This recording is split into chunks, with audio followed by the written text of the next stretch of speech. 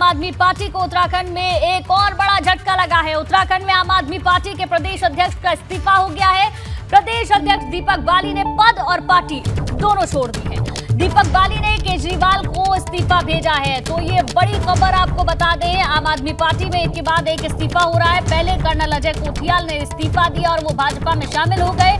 और उसके आम आदमी पार्टी के प्रदेश अध्यक्ष दीपक बाली ने पद और पार्टी दोनों छोड़ दी हैं। ये बड़ी जानकारी आपको दे दे।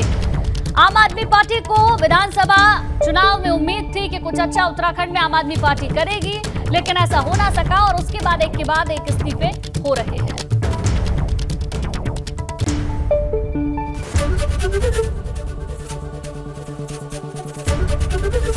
एबीपी गंगा, खबर आपकी, जुबा आपकी।